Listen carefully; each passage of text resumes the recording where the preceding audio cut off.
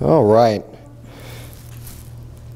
So again, I'm doing something a little bit different. It's going to be a little bit more of a Bible study tonight, Judges chapter 6. It's a great story, the story of Gideon. And this goes in, in chapter 6 and chapter 7. We're going to be looking at both chapters.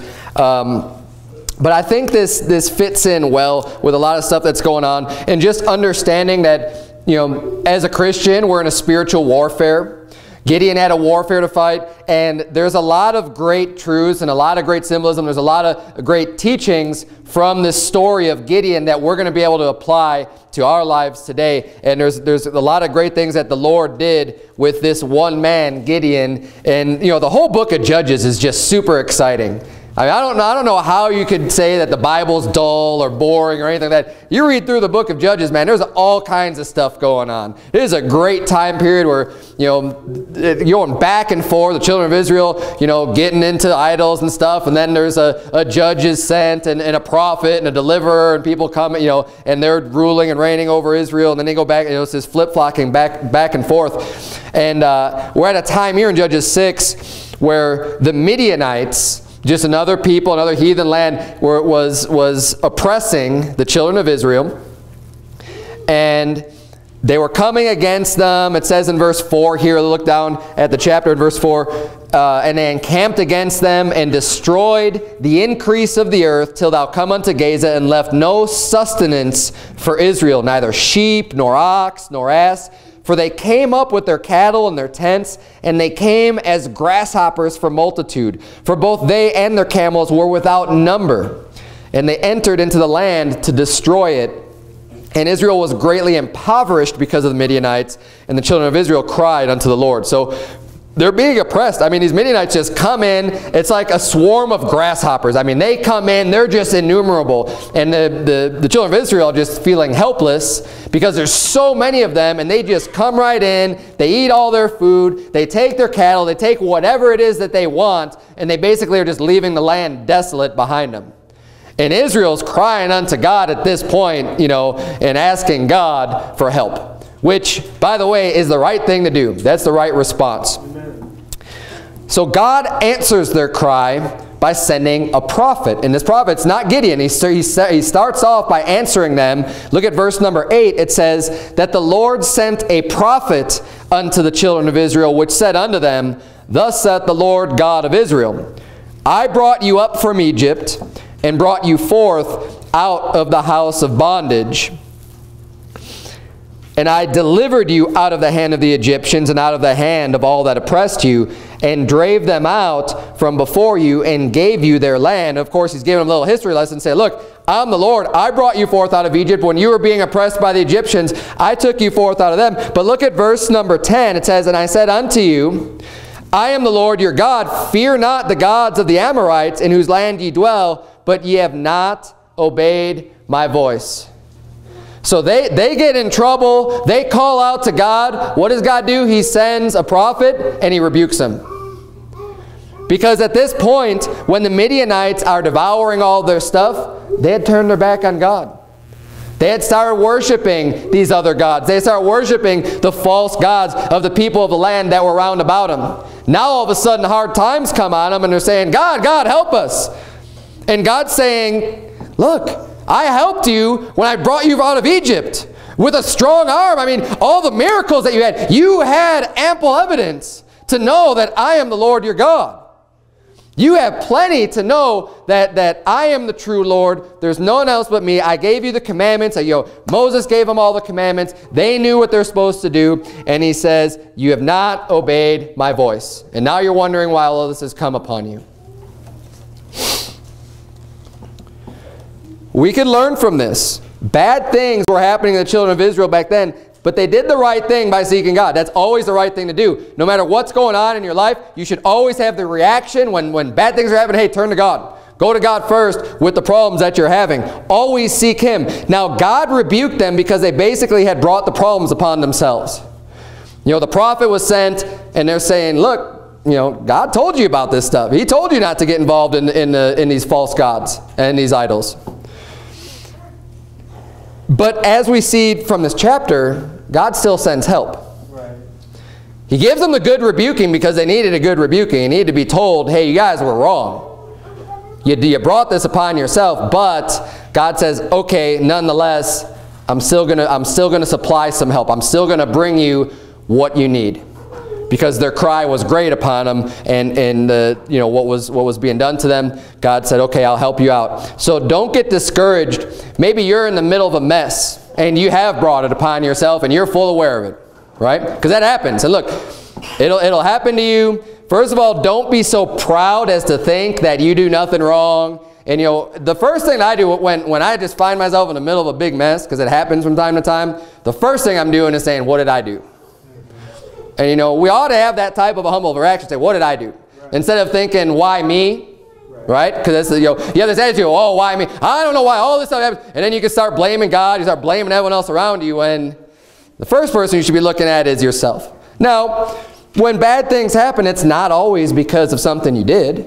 You know, Job didn't have all the bad things happen to him because of anything he did. Satan was attacking him.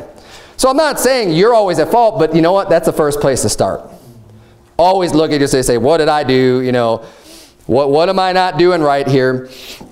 And then don't get discouraged if you have this mess and you know you're reading the Bible, you're going to church and you hear the rebuke coming down on something that you've done.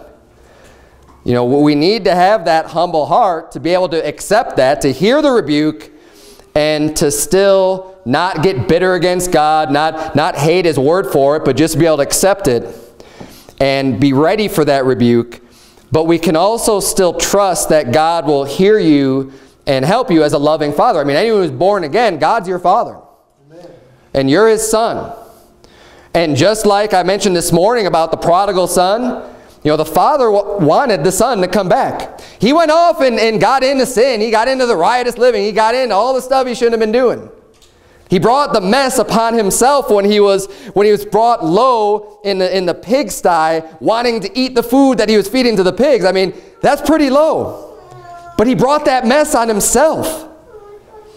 No, he deserved everything that he got, but nonetheless, what happened? He came back, his father was still looking out for him, and he was welcome home, and it was a big celebration. Hey, he was lost, now he's found, he's come back home. This is a joyous occasion. And if you bring a big mess upon your head, you get yourself, you know, you might have to face a little bit of a rebuke to understand, yeah, you did wrong. But God's still going to be wanting you to come back and to get right with him and ultimately to keep moving forward. You never want to be defeated in this lifetime. And Gideon is a great example of that, of, of, someone who was not defeated. And against all odds was able to have faith and trust in God and do the work that God had laid out for him. But let's, uh, let's continue here in this story. Because not only did he send the prophet, now he goes and sends an angel of the Lord to Gideon to, to prepare Gideon for the work that he's about to do because Gideon is going to be the deliverer. He's going to be the answer to the prayer. To all this oppression that the children of Israel are facing and they're crying out to God, Gideon is, is being sent as the solution to their problem, as, as the figurehead, as the man to, to bring the power of God and to deliver the children of Israel out of this oppression. Look at verse number 14. It says, And the Lord looked upon him and said, Go in this thy might, and thou shalt save Israel from the hand of the Midianites. Have not I sent thee? And he said unto him, O my Lord, wherewith shall I save Israel? Behold, my family is poor in Manasseh, and I am the least in my father's house.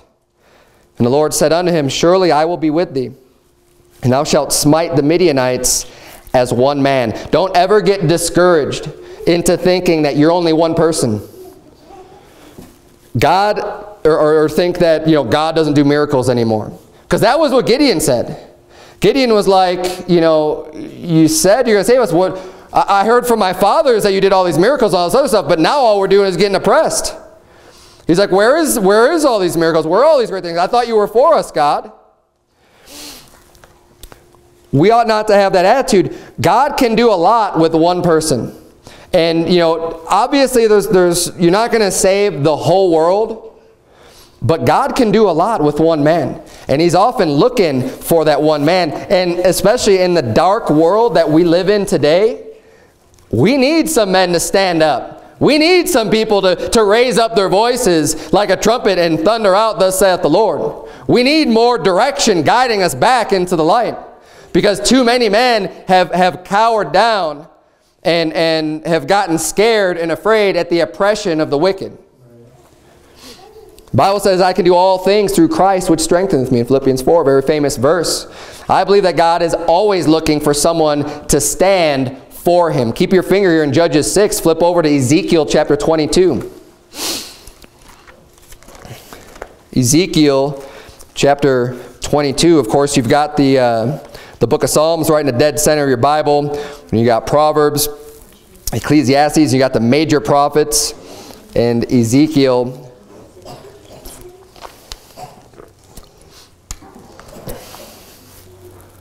It's the last of the major prophets. Ezekiel chapter 22.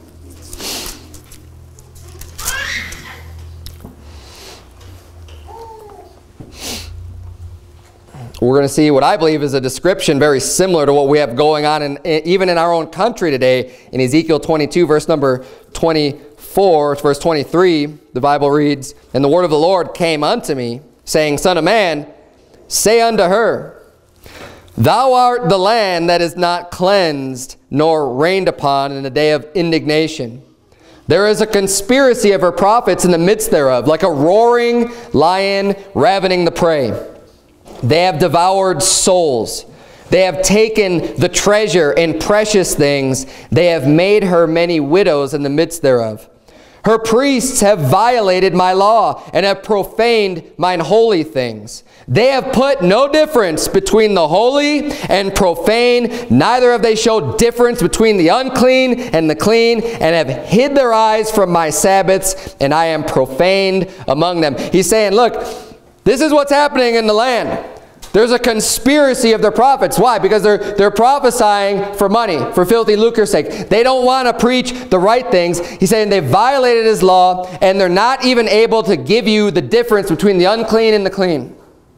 This is the preacher that won't stand up and call sin a sin and say, this is unclean. Stay away from this. This is clean. This is good. This is right. And they start muddying the waters and basically nothing's that big of a deal. You know, they preach a, a, a cool hell, a fine sin, you know, that, that nothing's a big deal instead of thundering out what they ought to be saying from God's law. And that's what's going on today, by the way. You want to talk about profane. You want to talk about filthy. Any man of God that can't stand up and say that the sodomites are vile and filthy and perverted and disgusting. If you can't make that stand, then you well, how are you could possibly make the difference between clean and unclean? Right. And this is what's happening today. Because people are afraid. They're afraid of the backlash. They're afraid of what's politically correct. They're afraid of, of people leaving their church. They're afraid of, oh, what's going to happen if I actually call this out?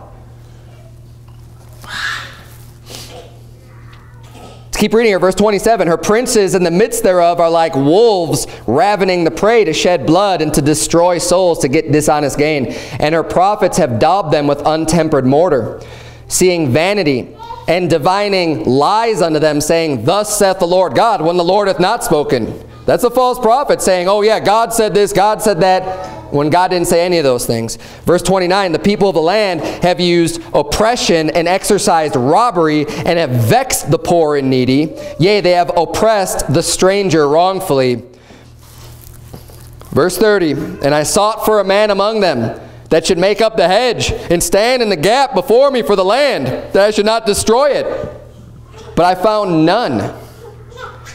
Therefore have I poured out mine indignation upon them.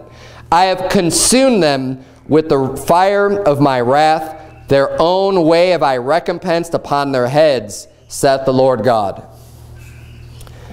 He's describing this land, the land where the priests and the prophets are profane. They're not able to, to preach the way that he wants them to preach. They're saying, making up all this stuff out of their own heart that God didn't say. They're not preaching what's true and right. And God's saying, you know what? All this stuff is going on here. They're oppressing the poor. There's, you know, the widows aren't being taken care of. And he's like, I sought for a man. He didn't see, seek out, you know, a, a, company, an army. He sought for a man. He's like, I was just looking for one person in this whole land. I'm looking for one person that's willing to stand up and say, Thus saith the Lord. Didn't find him. Where is that man? He's saying, you know, I, I didn't want to destroy the land. But where is that man that's willing to stand up? Therefore, because I couldn't find them, I had to bring my judgment. I had to pour out my indignation upon them. I recompense upon their head, saith the Lord God. See, God is always looking for that one man to stand up, to stand in head, to make up the gap. Amen. And we need more men like that to stand up today. Amen. To say, you know what? There's this apostasy going on all around us. There's people, I had, I literally, because I've been facing this flag, and if you don't, if you're not aware of what's going on, we stand, the Word of Truth Baptist stands with Verity Baptist Church, who has been in the news lately for the comments made about the sodomites that were killed in Orlando. I agree 100% with the comments that were made. And because of that, we get a little bit of flack. We get people hating on us. I had someone this week who claimed to be an independent, fundamental Baptist preacher comment on our, on our Facebook page, right? And saying how wrong we are and all this other stuff he had the nerve. He had the nerve to list. He's saying, oh, you think homosexuals should be put to death. Well, that's just as ridiculous as putting to death someone who commits adultery or someone whose ox had killed someone else in time past and you didn't keep them in. And he starts listing God's laws in Leviticus and he called them ridiculous. I don't know about you, but I believe that the law of the Lord is perfect. Amen. Now, we may not have all of his laws in place today. We have very few, it seems, these days. But when you could ridicule, when you call something ridiculous, you're ridiculing what the Bible says. That's the argument that I hear from the atheist. That's the argument that I hear from the people that hate God, that want to mock the Bible, and God say, oh, someone, you know, the child who, who smites his parent, should be put to death. Amen and amen. If God said that something like that deserves a death penalty, who am I to judge God and say, no, God, that's not a just judgment. That's not a just punishment. A man claiming to be an independent, I mean, look, the world will say that. The atheists will say that, and that's fine. I expect that from them. I don't expect them to, to revere God's law as being something that's true and pure and, and, and just. But when someone calling, claiming to be an IFB preacher, mocking the Word of God, God, help us. What is the state of our society when that's the case? When you're going to call out as, as being ridiculous God's law. And look, I don't know if you don't stand, you know, if you don't, if you don't believe, and I've said this in the past, if you don't believe that sodomites should be put to death today, whatever. You know what? You don't, I don't care whether you believe that or not. I believe that they should. I believe just like adulterers should be put to death today. I believe that should be the law. I think that should be the law of the land. I think that people who kidnap should be put to death. I think that, you know, you go through those laws. I do believe that they're legitimate. Okay? But, you know, if you disagree, whatever, but don't call God's laws ridiculous. Don't, don't call out the law of the Lord and say, oh, you know, then we'd be putting everyone. It's like, no, we wouldn't be putting everyone to death. If, if we would be putting everybody to death today, what about when the laws actually existed and were in place? Was everybody just put to death? No, because the Bible says that when people see this type of judgment, they will hear and fear and not do those things. There is great preventative measures when you have such punishments on these crimes that God deems to be a capital offense. When people hear about that, they say, whoa, I'm not going to do that. Just like the false accuser facing whatever it is they get found out for lying about, they need to face the same exact punishment of whoever it was they're trying to get in trouble that they would have faced. You lie about someone committing a murder, guess what? Now the liar is going to be put to death.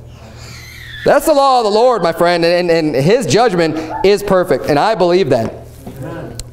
But this is, this is the state we're in today.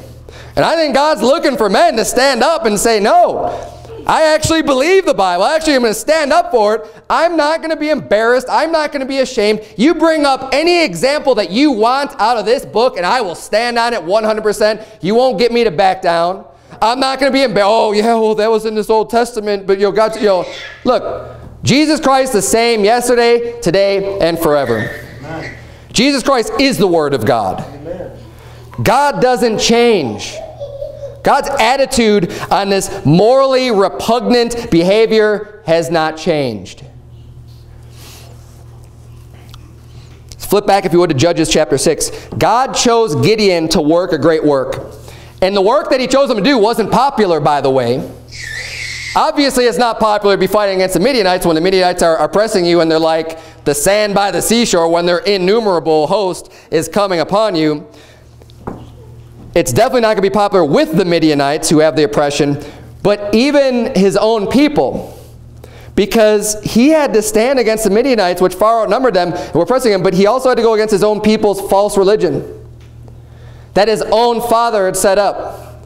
He had to, God had told him before he even went and delivered the children of Israel out of the hand of Midian, the first thing he did, he was called to tear down the altar of Baal. The Satan worship, the idolatry that was going on inside of Israel. God said, we got to get rid of this first. This is the, is, is the real problem. This is the source. Taking care of the Midianites, God's like, that's not a big deal. I'd take care of that. Let's get right with God first. Let's, let's get the false gospel, the false preaching, the false gods out of here. Look at verse number 25 of chapter 6.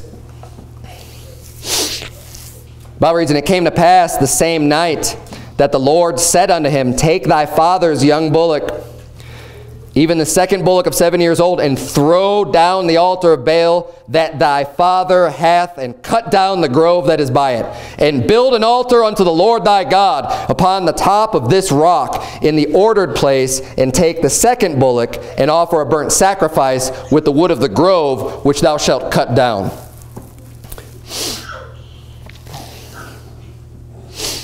Now we're starting to see churches these days, I believe there's a small movement growing that are, that are, that are coming up and they're throwing down these altars of Baal. And they're saying, you know, we need to get rid of this. We're, we do not need to stray off in, into this, um, into these places. Because that's what, you know, the children of Israel did that. They allowed the influence of the false gods to get in and contaminate their pure religion. And before you know it, they're building up altars unto Baal instead of altars unto the Lord. And God's saying, you know, we got to wipe the slate clean, get rid of this, stamp it out, take the, the, altars down, cut down the grove, because God said he didn't want to make in groves either, because that's how the, the, the heathen worship their false gods. And he's like, you build an altar unto me, and you're going to make a sacrifice, and you, the wood you're going to use is from the grove that you tear down. But see, this movement we've got growing today is a movement that's sick of all the hypocrisy in the churches, that's sick of all the compromising, that's sick of all going the way of the world that seems to be infecting the so-called Christianity today. And it takes someone willing to face the opposition and not back down and to stand firmly on God's word. It takes courage.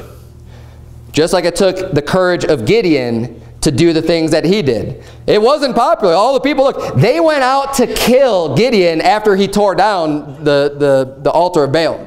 He, had to, he did it at night because he's like, I don't even know what's going to happen if I do this in the daytime. He went out at night. He pulled down, he did exactly what God told him to do.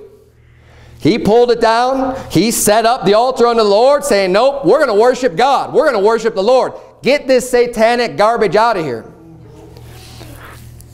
But that caused them to come after Gideon to try to kill him.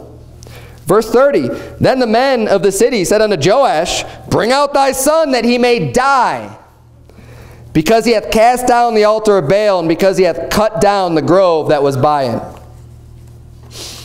And even though the people wanted Gideon dead, he was delivered.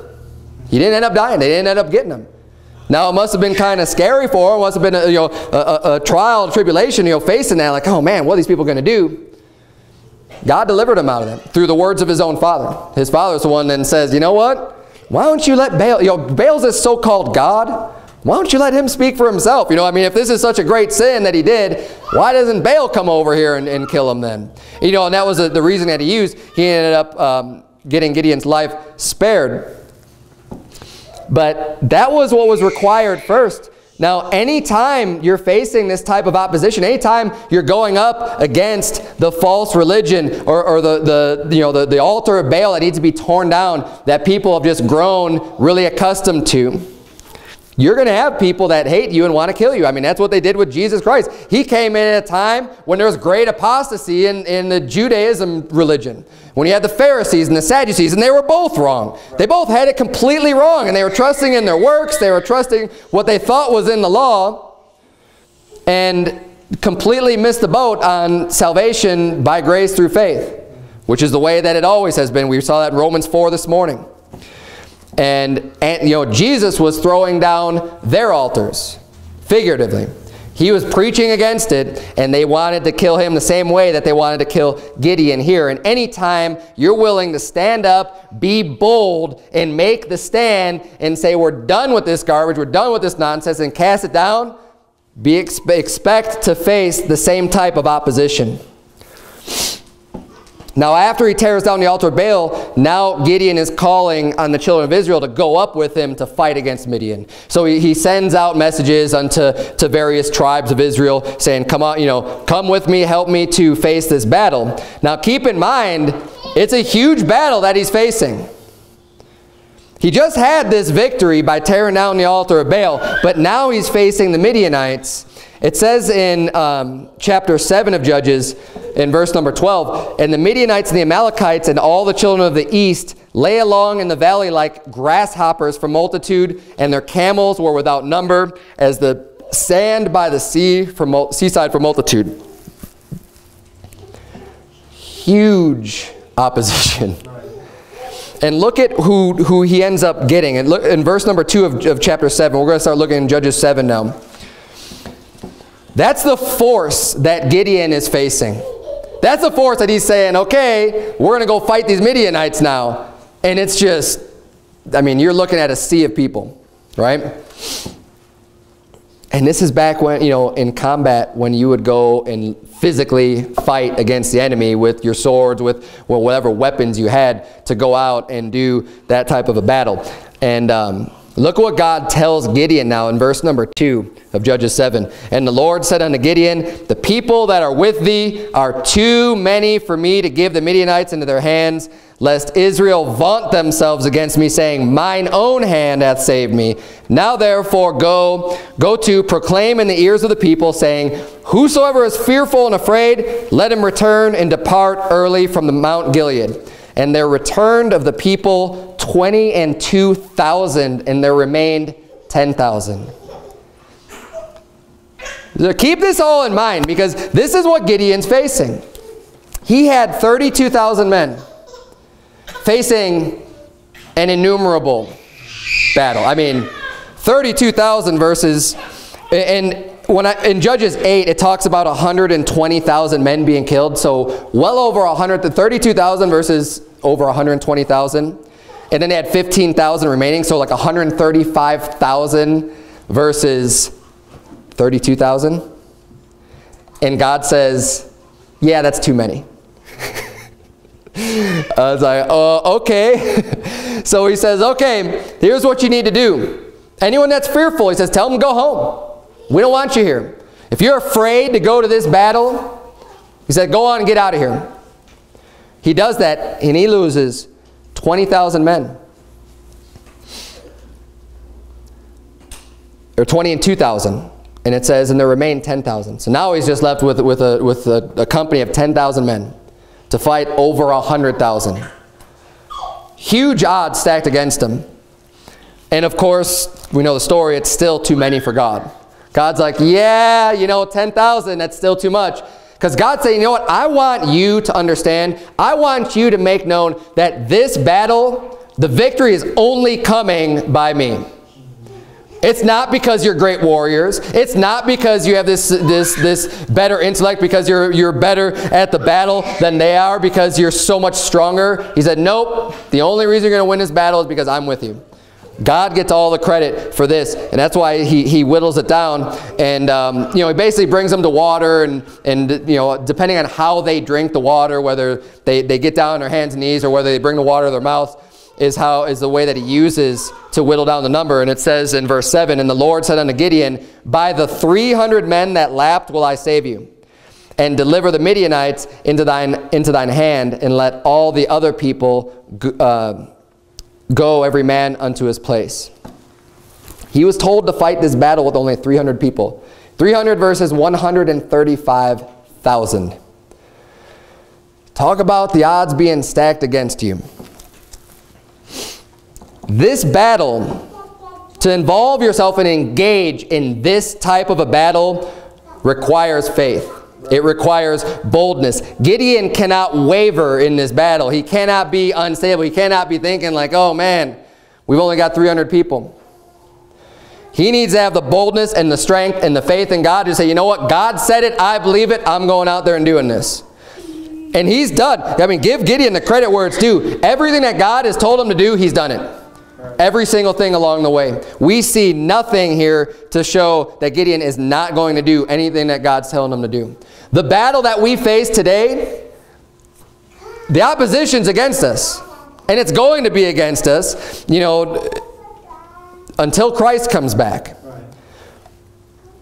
But that doesn't matter. We need to still get in the fight, not be afraid of the opposition, not get scared when, when, when the enemy shows his face, and be able to stand up and not waver and have the faith that, you know, if God be for us, who can be against us? Gideon is not back down, but he is a little scared. And we get a little insight into this, and I think anyone here could probably understand why he's got a little bit of fear in him. You know, no matter how much, it's easy to stand up here behind the pulpit today and say, yeah, you know, we've got to have this faith and the courage and everything else. But when you're among 300 men and you're facing 100, you know, 132,000, 150,000 men, you know, it's, it's, that's real. That's when it gets real. Right. And Gideon was a little bit scared. But you know what? God helped him out with that too. God understands our heart. God understands our human condition. And God goes to Gideon in verse number 9 here of chapter 7, it says, And it came to pass the same night that the Lord said unto him, Arise, get thee down unto the host, for I have delivered it into thine hand. But if thou fear to go down, go thou with Phurah thy servant down to the host. And thou shalt hear what they say, and afterward shall thine hands be strengthened to go down unto the host. Then went he down with Phurah his servant unto the outside of the armed men that were in the host. And then he hears them, you know, they talk about this dream that he had, and, and they, they reveal the interpretation of the dream that, that basically God delivers the whole host of Midian into the, into the hands of Gideon. And, um, you know, it's interesting that God tells him, he said, look, I've already secured the battle for you, but if you're fearful, you know, just go, go on down there and just listen to what they say. So the very next thing, it's, Gideon's down there listening to what they say. You know, it's, it's that, that, that human nature, that fear. Is like, okay, God, well, I'm going to go and listen to what he said. So here's that he gets the comfort and he gets the strength. But you know what? I thank God that we have this and many other stories from the Bible. See, back in the days of the judges with Gideon, they didn't even have very much scripture. Right to, to, to have as that comfort and that edification from God. We've got the whole Bible. Praise God for that. We have these stories. We have the stories like Gideon and many others that are recorded that we could gain our strength from so that when we face a battle that seems to just be opposing us and man, there's no way we could ever possibly win this, we could think back and say, look at what Gideon did. Look at what David did when he faced Goliath. Look at what any other great, valiant fight was that, that God just delivered them. The, the children of Israel coming out of Moses. When we face our battles, we can see what God has already done and know exactly what he's capable of doing. Look at verse number 16 of Judges chapter 7. Because now this is his plan with the 300 men. What he does to, to defeat the, the huge army. Verse 16, And he divided the 300 men into three companies, and he put a trumpet in every man's hand, with empty pitchers and lamps within the pitchers. And he said unto them, Look on me, and do likewise. And behold, when I come to the outside of the camp, it shall be that as I do, so shall ye do.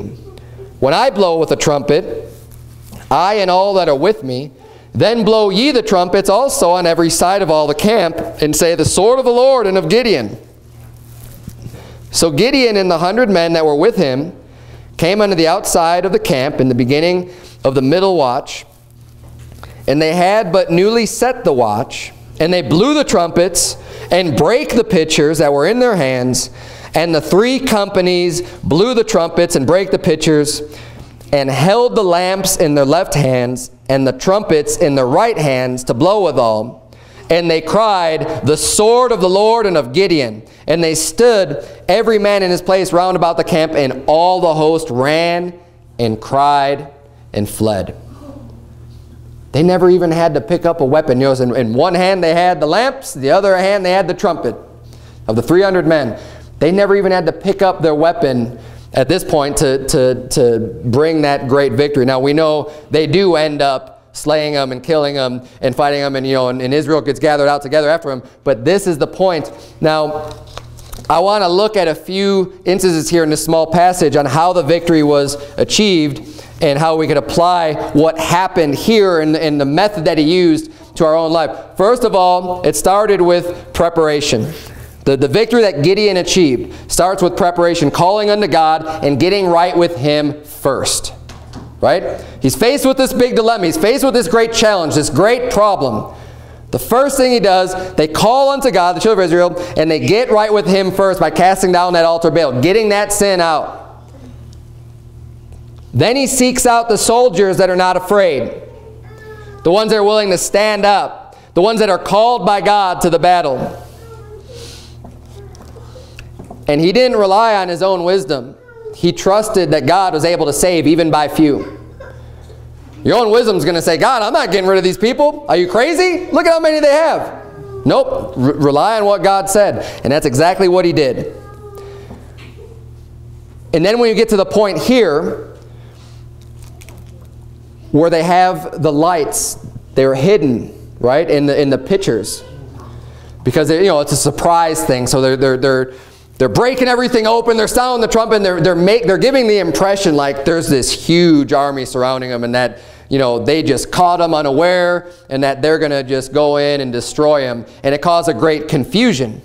But what I see out of this, when they, when they let their light shine, had a lot of power, when they would not let their light be hid under a bushel.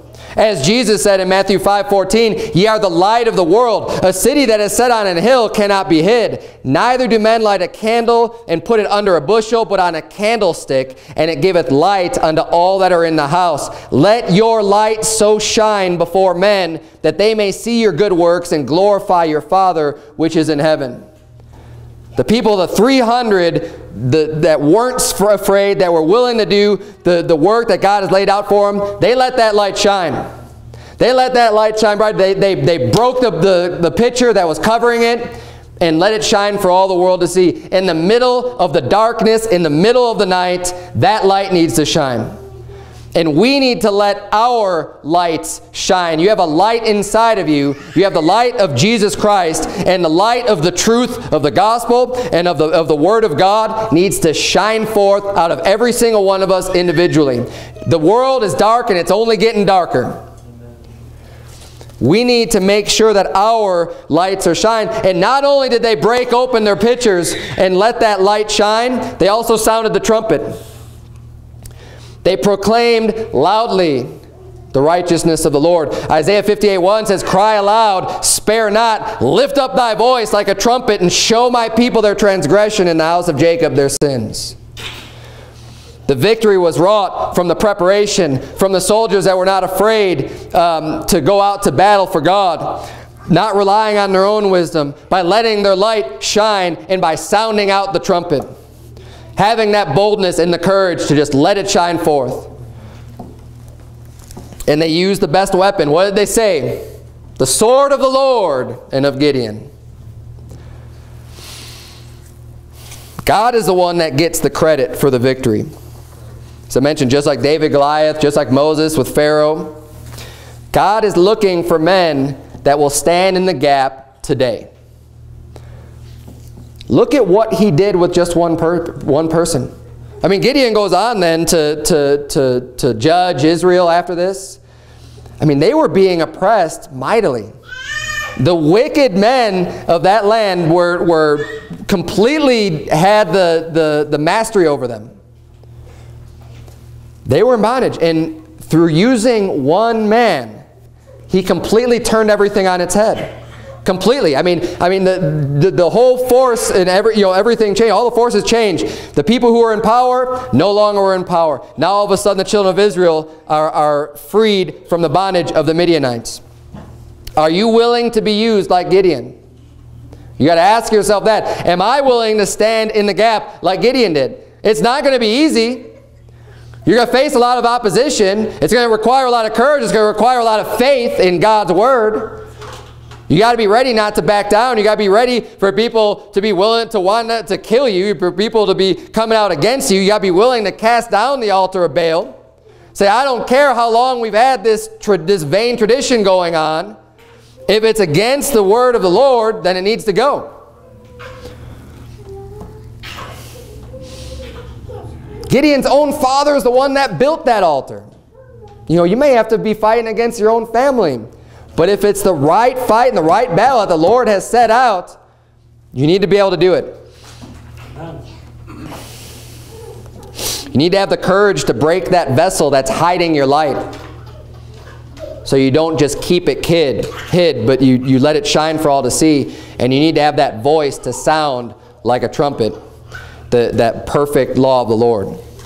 We need Gideon and his 300 men today. We need David to face the giant. We need more people to stand up and say, Here am I, Lord, send me.